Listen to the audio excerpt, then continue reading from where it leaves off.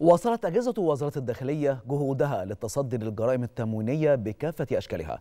وتمكنت الإدارة العامة لشرطة التموين والتجارة بالتنسيق مع فروعها الجغرافية بمديريات الأمن وقطاع الأمن العام من ضبط العديد من قضايا غش السلع وحجبها عن التداول وبيع سلع منتهية الصلاحية.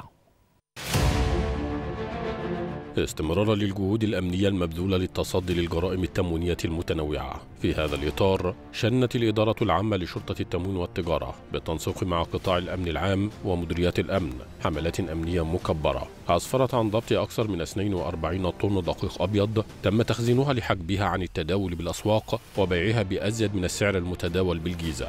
وضبط 105 طن مواد غذائية متنوعة قام مالكو عدد من مخازن لتجارة السلع الغذائية بالجيزة بحجبها عن التداول بالأسواق لرفع أسعارها وبيعها بأزيد من سعرها المتداول لتحقيق أرباح غير مشروعة. كما نجحت الأجهزة الأمنية في ضبط قرابة 85 طن مكرونة وسكر وزيت طعام فضلا عن أكثر من 65 ألف لتر زيت طعام تم حجبها عن التداول بالأسواق لبيعها بأزيد من السعر المتداول بالجيزة والمنوفية والشرقية.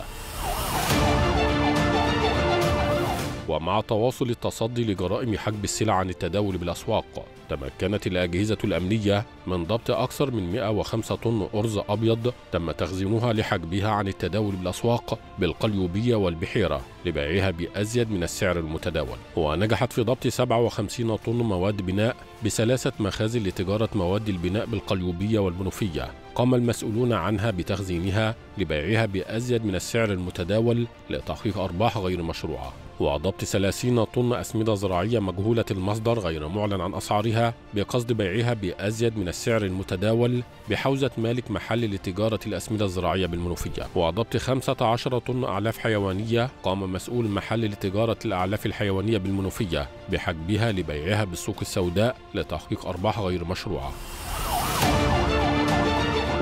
منتهية الصلاحية تمكنت الأجهزة الأمنية من ضبط عشرة أطنان مواد غذائية غير صالحة للاستهلاك الآدمي بحوزة مالك مخزن لتجارة السلع الغذائية بدون ترخيص بالشرقية وضبط أكثر من 45 طن لحوم ودواجن ومصنعاتها. غير صالحة للاستهلاك الآدمي بالقاهرة والجيزة والشرقية والقليوبية. وتمكنت الأجهزة الأمنية من ضبط 154 طن مخللات غير صالحة للاستهلاك الآدمي بحوزة المسؤولين عن مصنعين لإنتاج وتعبئة المخللات بالمنوفية والإسكندرية.